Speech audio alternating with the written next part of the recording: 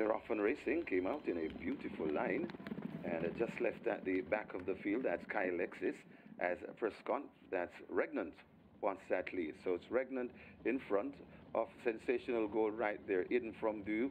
That is a press conference right against the Rail Regal and Royal as they blast past the five. Then comes Charming Beauty.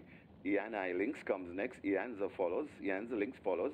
Then comes Catalina and uh, racing at the back of the field. That's Sky Alexis. They passed the four, and it is Regnant still on that lead. Press conference hunting up a place, and press conference and Regnant. They're four lengths in front of Regal and Royal. Running on that is Ianza Links. Charming Beauty is left back in fifth. Racing in sixth, that's Ianai Links. Then Ianza Links rather. Then comes recovering Kai Alexis. Catalina and way out of it could have blown the turn. Looks to be pulled up. That is uh, Sensational Gold there at the top of the lane and it is press conference that kicks with that lead press conference Ian Zellings comes running on press conference in front and traveling well Ian Zellings switch down towards the rail Ian Eilings switch down towards the rail.